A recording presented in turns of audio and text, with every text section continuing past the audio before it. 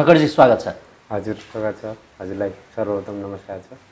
अनि म यो भन्न चाहन्छु कि अब युट्युब च्यानलमा मेरो चाहिँ झक्कर थापा भनेर चर्चा जो चलिरहेछ।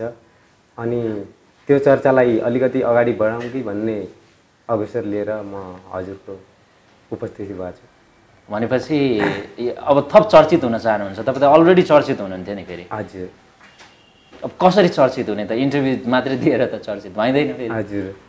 अब यस्तो हो कि म एउटा गरिब भनौँ गरिब दुखी मान्छे भएको हुनाले अलिकति म पछाडि पढेको छु है। अनि मलाई सहारा दिने कोही छैन। अनि त्यही भएर अलिकति पछाडि पढेको अवस्था यस्तो छ। अनि यस्तो कि घरको पारिवारिक समस्याहरू भन्नाले बुबा हुनुहुन्न। अनि बचपनमै यस्तो म बुबाले छोडेरै जानुभएको। अनि उपचारकै क्रममा नेपालमा उपचार नभएर लखनऊमा उपचार गरेको मैले। अनि अब घरको पारिवारिक समस्याहरू यस्तै भएको कारणले म अगाडि दौडिन नसकेको अवस्था यस्तो हो। तपाईँको त्यो चर्चालाई अब तपाईँ क्यास गर्न चाहनुहुन्छ? हजुर। अब फेरि गीत गाउन चाहनुहुन्छ तपाईँ? गीत गाउन चाहन्छु। स्टुडियोमै रेकर्ड गर्न चाहनुहुन्छ? हजुर। गीत। कस्तो गीत रेकर्ड गर्नुहुन्छ त अब अब कस्तो सबै आधुनिक मिक्स भनौँ नि। दैले गीत ठाडो भाकाहरू ओके। अनि कम्पोज पनि गर्नुहुन्छ तपाईँ होइन? हजुर। कुर्तेको चोलीको खुकुलो तुन छ त्यो तिम्रो रूपमा जादुनी टुन छ। सोल्टीले मलाई आँखा मार्यो नि तपाईँले त नाच्दै सोल्टीले दिनु पर्ला। मलाई जालमा पार्यो नि। नाच्दै दिनु पर्ला नि तपाईँ वैशालु तिम्रो हेरै तिम्रो रूपमा जादुनी टुन छ। सोल्टीले मलाई आँखा मार्यो नि। सोल्टीले मलाई जालमा पार्यो नि। यो गीत गाउनु भएको थियो। हजुर। त्यसमा मादल बजाउनु मिल्दैन? मादलसँगै गाउनु। म पनि त आएको हुँ मायालुको गन्धले। म पनि त आएको हुँ मायालुको गन्धले। मलाई चकित बनाइदियो तारै बन्दाले मलाई चकित बनाइदियो तारै बन्दाले मलाई चकित बनाइदियो तारै बन्दाले मलाई चकित बनाइदियो तारै बन्दाले यो चाहिँ तपाईँले आफै लेख्नु भएको कि उतातिरको तपाईँहरूकोतिर चर्चित गीत हो यो? नै यस्तो मैले आफै बनाएको। गीतहरू लेख्नुहुन्छ तपाईँ? हल्का हल्का आउँछ। कतिवटा गीत लेख्नु भएको छ अहिलेसम्म? अहिलेसम्म त केही लेखेको छैन। अब बेरोजगार भनेपछि म इन्डियातिरै काम गर्छु। अनि त्यही भएर अब लेख्न भ्याइन्न। नेपाल आइडलमा रातारात चर्चा कमाउनु भयो अनि यता नेपालमा तपाईँको चर्चा भयो तपाईँ चाहिँ इन्डियातिर जानुभयो? हजुर हजुर। कन्ट्याक्ट केही भएन। मसँग मोबाइलको पनि कमी थियो। अनि त्यही भएर कन्ट्याक्ट भएन। इन्डियामा चाहिँ जागिर केमा गर्नुहुन्थ्यो? लेबरी काम गर्ने बालुवा बोक्ने अब इट्टाहरू बोक्ने यस्तै बोजाहरू बोक्ने कति पाउनुहुन्थ्यो? अब दिनको कहिलेकाहीँ सात आठ सौ हुन्थ्यो अनि फिक्स ड्याडी भनेको पाँच सौ चार सौ साढे तिन सौ यस्तै गर्नुपर्ने। अब लेबरी काम पनि खोजेपछि नमिल्ने। अब जागिर भन्ने कुरा त्यस्तै हो इन्डियामा लेबरी काम पनि अलिकति गाह्रो अनि बस्नुलाई पनि गाह्रो त्यहाँको प्रुफहरू आइडीहरू बनाउनु पर्ने अनि दस औँलाकै पुरा छाप लिएर पुलिस चौकीमा गएर अनि कुन ठाउँमा बस्ने हो के गर्ने हो भन्ने कुरा त्यो सबै अनि पासपोर्ट बनाउनु पर्ने त्यहाँको विवरण अहिले अहिले भर्खरै बनिरहेछ त्यतातिर। अनि यस्तो लाग्छ कि अब दुईवटा छोरा छ। अब तिनीहरूलाई पढाउनु पर्ने हुन्छ। अनि मम्मी हुनुहुन्छ अङ्कल हुनुहुन्छ बुवा हुनुहुन्न। अनि सबैलाई हेर्नुपर्ने अनि अब घरको जिम्मा चाहिँ मेरै शिरमा भनौँ एउटा कुरा। त्यही भएर अलिकति दुखी परिरहेको छु अनि बचपनमै मैले परिवार निवेदन पनि गरिसकेको चौबिस सालको उमेरमा। अहिले म तिस सालको भएँ। अनि परिवार निवेदन गर्दाखेरि मलाई केही असरहरू गाडीको यात्रा गर्दाखेरि अनि कुनै धेरै बोजाहरू बोकेपछि अनि असरहरू आउँछ पिसाब पोल्ने यस्तो यस्तो गर्ने। आफ्नो शरीरमा त्यस्तै लाग्छ। अब त्यही भएर विदेशको सिलसिलामा पनि लागौँ भनेको साथीहरूले भन्छन्। अनि त्यसले परिवार निवेदन गरेछस्। अनि तेरो हुन्न भन्ने कुराहरू गर्नुहुन्छ साथीहरूले सल्लाह चाहिँ। अनि त्यही भएर अब यस्तै कि गाना गाउने मन रहर लाग्छ कि। अनि बचपनदेखि नै साथीहरूलाई देउसी भैलोहरू खेलाउने गाउँतिर। अनि स्कुल जाँदाखेरि तिन घन्टाको बाटो दुल्लु जाँदाखेरि तिन घन्टाको बाटो लाग्थ्यो। बिहान सात बजी हिँड्यो भने दस बजे स्कुल पुग्नुपर्ने। खाएको खाना चाहिँ अब दस बजे चाहिँ खतम हुने भनौँ न। त्यस्तो दुर्गमै अब ठाउँ पऱ्यो। त्यही भएर अलिकति म ब्यागमै परेँ। अनि सोकिङ भन्नाले अब देउडाहरू अनि देउडाहरू पनि गाउन आउने होइन? अब लोकगीतहरू भैलीहरू साथीहरूलाई खेलाउने। आहै भन भन भाइयो देउसेर है शर्मीलाई भन देउसेर है शर्मीलाई भन देउसेर। यस्तो यस्तो साथीहरूलाई सङ्गीहरूलाई खेलाउने भनौँ न रोमान्टिङ गर्ने। त्यस्तै गर्थेँ पहिलेदेखि बचपनदेखि। अनि नेपालगञ्जमा नेपाल आइडल खुल्यो भन्दाखेरि मैले टिभीमा हेरेर अनि यस्तो कि अब प्रतिभाहरू देखाउनु पर्ने हुन्छ भन्ने कुरा टिभीमा मैले सुनेँ अनि त्यसपछि म गएर नेपाल आइडलमा दुई राउन्ड चाहिँ पास गरियो। तिन राउन्डमा अब जजहरूले मेरो कुराहरू बुझिदिनु भएन होइन।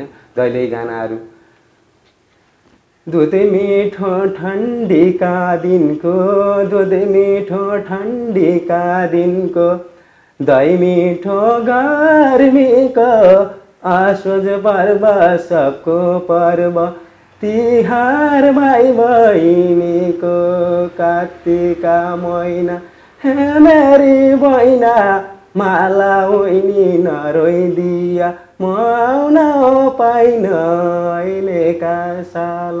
यस्तो जजहरूले पनि बुझिदिनु भएन होइन? अब अरू आधुनिकहरू यस्तो चलचित्रहरू गाउनुपर्छ भन्ने मलाई जानकारी भएन। त्यही भएर अलिकति बेजे चाहिँ नेपाल आइडलले मेरो बहुतै गर्यो हेर्नुहोस्। अब लाग्छ के गर्ने त पश्चिमी गानाहरू।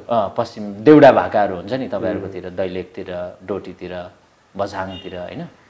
अघि सुनाउँदै हुनुहुन्थ्यो तपाईँले हामीलाई त्यो इन्टरभ्यू सुरु गर्नुभन्दा अगाडि एउटा त्यही सुनाउनु भए पनि हुन्छ। दसमा आइरन गेट। अँ हुन्छ हुन्छ त्यही गीत। बाबा आमा थिया सिकाउन जान्दैन नेपालमा। शिक्षाको कमी भइआयो हाम्रो देश नेपालमा नेपालमा। जन्मैदेखि अङ्ग्रेजी हमायो विज्ञान गरे केतुर भयो दसमा गेट मादलको तालमा अलिकति हुँदै चाहिँ हुन्छ होइन यस्तो ठाडो भाकाहरू यसो यसो गरौँ न त्यो ठाडो भाका एकपटक बिना मादल नै एकचोटि सुनाउन हाम्रो दर्शकको लागि। बाबा हुन् सबका शिवजीका रूप आमा हुन् पार्वती प्यारी। आमा हुन् पार्वती। कठै तो तिम्रो अर्ग तँ तिम्रो रूप अर्दन कि श्रीमती। प्यारी अर्दन कि श्रीमती। अब यस्तै तेजबहादुर हिमालको यो यो गानालाई पनि। अनि अब अर्को अछामी गानाहरू पनि। हुन्छ जाओस् न एक दुईवटा। म त हजुर अछामी हो देउडा गाउन आएको हो श्याम छाम छाम मादल बजो झाम। अछामका डाँडा काँडा सरिहाली बन हो। खुलदुली लाग्याको म त मेरो आउँछ मन छ्याम। मादल बजो छ्याम। छ्याम हो। मादल बजो छ्याम। हे हरियाली लेखाका बन कैठौर बसेकी होले सुवा। मेरो हृदयको आउँछौ भने आइजाऊ मेरी सुवा। देउडा खेलौ हान पैताले सँगै मेरी सुवा। कस्तो लाग्छ? गजब लाग्छ नि तपाईँको त। गजब छ। नेपाल आइडलमा तपाईँले रमाइलो गर्नुभएको थियो नि। हजुर। काहीँ नभएको नाम झक्कर थापा भन्नुभएको थियो। किन। भन्नुभयो? अब नाम यस्तो कि अब पहिलाकै पुराना जमानाको बुबा आमा हुनुहुन्थ्यो। त्यही भएर अनि अब नामै चाहिँ झक्कड थापा अब भन्नुहुन्थ्यो। अनि त्यही भएर अब स्कुलमा पनि झक्कड थापै लेखियो। अब उहाँहरूले भन्नुभयो झक्कड थापा भनेको के हो? कस्तो हो? भन्नुभयो होइन। नामै चाहिँ अब झक्कड थापा अनि झक्कड थापा संसारमै नभएको भन्नु कुरा त्यही नै हो। होइन त्यही भएर अलिकति अनि ठ्याक्कै त्यो चाहिँ किन भन्नुभयो तपाईँले भने कि? रमाइलोको लागि रमाइलोको लागि झक्कड थापा संसारमै नभएको अहिलेसम्म अब प्रधानमन्त्री कोही नेता राष्ट्रपति कोही नभएको हुनाले म केही अगाडि अग्रस्थानमा जान्छु कि भन्ने हिसाबमा मैले झक्कड थापा संसारमै नभएको भन्ने तपाईँ आफूलाई आफ्नै स्वर चाहिँ कस्तो लाग्छ? एकदम अनेस्टली भन्दाखेरि इमान्दार भएर भन्दा। आफ्नै स्वर त अब मलाई आफ्नो स्वर राम्रै लाग्छ। मेरो जान मेरो जान साथ दिने कोही छैन। मेरो जान मेरो जान म त अहिले यहाँ पागल सरी हिँडिरहेछु।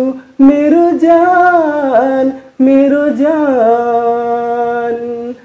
कोही छैन सहारा।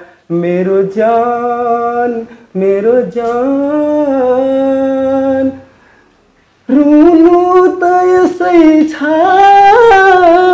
दैवको खेल हो। रुनु त यसै छ। दैवको खेल हो। परदेशिनु पर्या हो परदेशिनु पर्या हो। एक छाकाको पेटलाई एक छाकाको पेटलाई मेरो जान मेरो जान। हस् त। हजुर खर्चको अभाव भन्दाखेरि सबै बिक्री गरियो। घरमा भएको अब पाटतिर भन्छन् घरमा हाल्ने अब काठहरू भनौँ। त्यो काठहरू पनि डाक्टरहरूलाई बुझाइहेर्नुहोस् हजुर। अनि बाबाले भन्नुहुन्थ्यो कि यिनलाई लास्टमा अब कोदरो भन्ने त हाम्रो नेपालमा हुन्छ होइन? यिनीहरूलाई केही छोड्दैन अब यिनीहरूलाई त्यही भुटेर खाने बनाउँछु भन्नुहुन्थ्यो। अब के गर्ने त सारा कोही थिएन। अनि पैसाको कमीको कारणले। अनि त्यस्तै भएको। अनि यस्तो कि अब मम्मीको पनि दान नभएको हेर्नुहोस्। लास्ट स्थिति। तिनवटा दान मात्रै बचेको। अनि बाबाले भन्नुहुन्थ्यो कि छोरा अनि अलिकति इन्डिया गएर मम्मीको चाहिँ दाँत हाल्नुपर्छ होइन? अहिले उमेर अवस्था छ केही खान सक्दिनँ भन्नुहुन्थ्यो। अनि त्यसपछि मैले इन्डिया गएर सोह्र हजार रुपियाँ कमाएर अनि सुर्खेतमा तपाईँको दाँतको सिटहरू सबै बत्तिसवटा दाँतहरू मैले हाल्ने काम गरेँ होइन? अहिलेसम्म मम्मी बाँध्नुहुन्छ। अनि एउटा घरमा सोलर राखियो। अनि त्यस्तै पारिवारिक समस्याहरू हल गर्दै आइरहेछु। अहिले चाहिँ म नेपालमा बस्छु। अनि त्यस्तै बाबालाई पनि अलिकति खर्चको अपुग भयो होइन छिमेकीहरूले पनि अब सहयोग गर्न नसक्ने होइन अब रिसिभी गर्ने त्यस्तो गर्ने होइन। त्यो भएर मसँग भएको पैसा साठी सत्तर हजार रुपियाँ थियो अनि लखनऊमा लग्दाखेरि सात दिन बसियो। अब दिनको रुम भाडा चौबिस सौ। अनि दबाई गर्दाखेरि तिन चार हजार रुपियाँ लगभग लगभग पुग्थ्यो। अनि सात दिनमै त्यो पैसा भ्याइयो। अनि सरले भन्नुभयो अरू पैसा साठी सत्तर हजार लिएर आइज अनि तेरो बाबालाई दौड्ने बनाउँछु अनि ग्यारेन्टीको साथ भन्नुभयो। अनि मैले भने म यही हस्पिटलमा झाडुहरू लगाउँछु होइन? मेरो बाबालाई ठिक गरिदिनु सर भन्ने कुरा गरेँ। हिसाब गर्दाखेरि पैसा बराबर भयो। अनि बाबाको ज्यान चाहिँ पनि गयो। अब नेपालमा ज्यान जाँदा पनि खर्चै हुन्छ होइन? झाडु पनि लाउनु भयो लगाएन। ए त्यो लाउन नपाउँदै बाबा बित्नु भयो बित्नु भयो उहाँले मान्नु भएको थियो कि थिएन? अब मान्नु भएन। ए। तपाईँ तर खलासीको रूपमा पनि धेरै काम गर्नुभएछ होइन? मैले खलासी काम गर्छु भनेर एउटा अनि म एक जतिस अनि अछामी साउको गाडी थियो त्यो गाडीमा मैले खलासी काम गरेँ। गरिसकेपछि अनि नदी खेल्न जाँदाखेरि अब एउटा चौधरी केटासँगै म गएँ। गइसकेपछि लगभग लगभग एक किलोमिटर टाढा पुगेपछि अछामी केटीले मलाई चाहिँ बचाएको अनि बचाइसकेपछि पेटभित्र अनि दबाउनुपर्छ पानी पिएछ भनेर सबै बजारको मान्छेहरू आए दुल्लुका केटाहरूलाई बचाउनुपर्छ भन्ने कुरा भयो।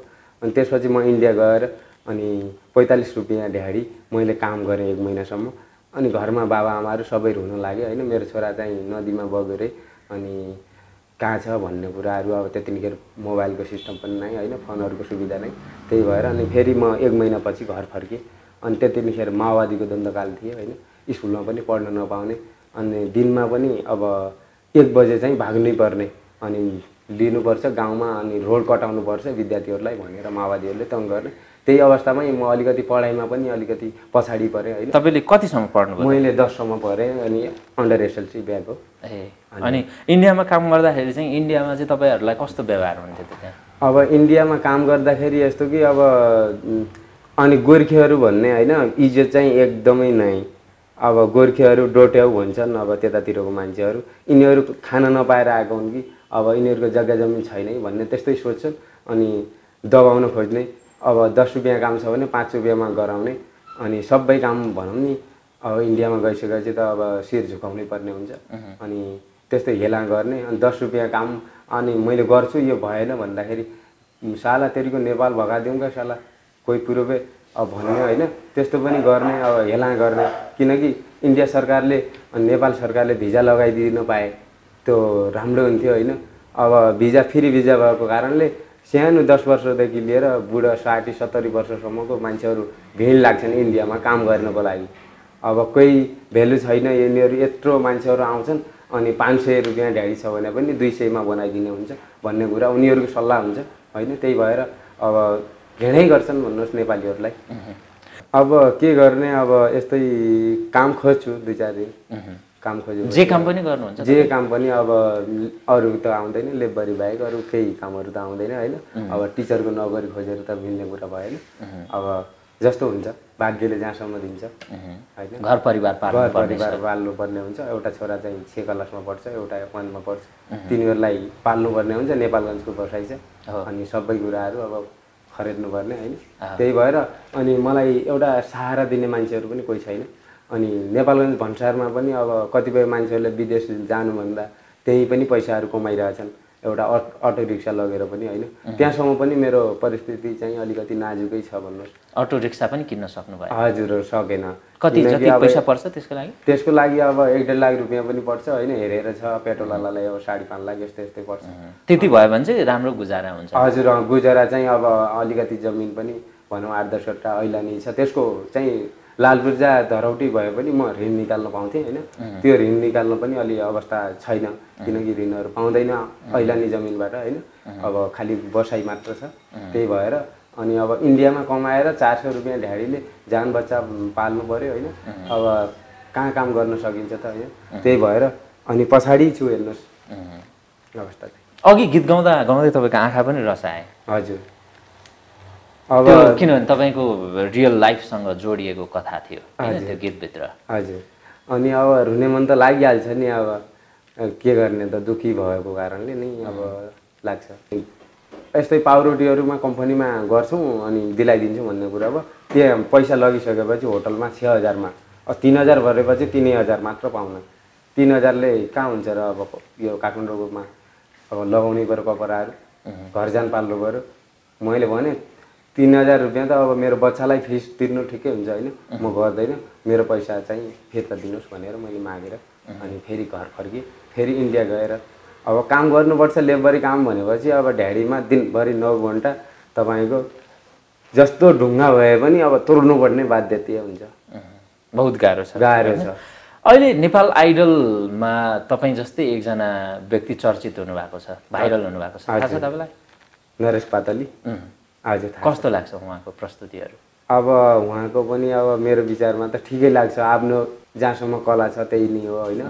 उनको तपाईँहरूको त छिमेकी जिल्ला हो क्यारे होइन उता? हजुर छिमेकी पश्चिमेली पर्छ। हो। हेर्नु भएको छ उहाँको प्रस्तुति हजुर हेरिसकेको छु। मसँगै झक्कड थापा भनेर जोइन गरिएको छु। धेरै मान्छेले तपाईँहरूलाई कम्पेयर गरेका छन्। हजुर। कस्तो लाग्छ कम्पेयर गर्दाखेरि चाहिँ? अब यस्तो कि एक हिसाबमा लाग्छ कि यो बदनाम चाहिँ हो होइन? बेजेत चाहिँ हो भन्ने कुरा घरमा मेरो श्रीमतीले पनि भन्छ। होइन हा? अनि तपाईँको बेजेतै हुन्छ अनि बेजेत गराउनु हुन्छ किन जानुहुन्छ भन्ने कुरा अब श्रीमतीहरूबाट पनि पाउँछु म पाउनुलाई। अनि अब आफूलाई त सोख छ नि जस्तै गाउनुपर्छ। अनि यस्तो उम्, आधार भए अनि म गायकै बन्थेँ कि भन्ने लाग्छ मलाई.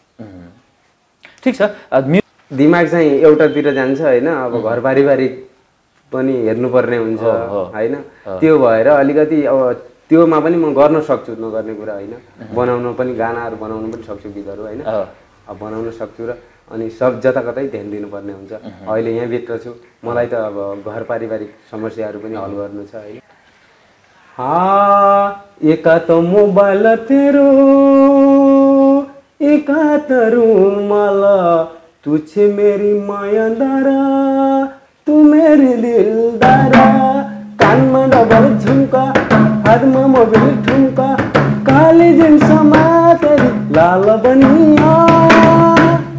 तेरे फसाना देख के बुढ़ा है गई मजाना तेरे फसाना देख के बुढ़ा है गई मजाना हस् त धन्यवाद। थ्याङ्क यू सो मच झगडजी एकदमै खुसी लाग्यो। तपाईँको उत्तर उत्तर प्रगतिको कामना गर्छु ल सबैहरूको दर्शकहरूले मलाई सहयोग गरिदिएमा दर्शकहरूलाई पनि मेरो तर्फबाट स्वागत छ। म छुट्टिन चाहन्छु। Thank you thank you so much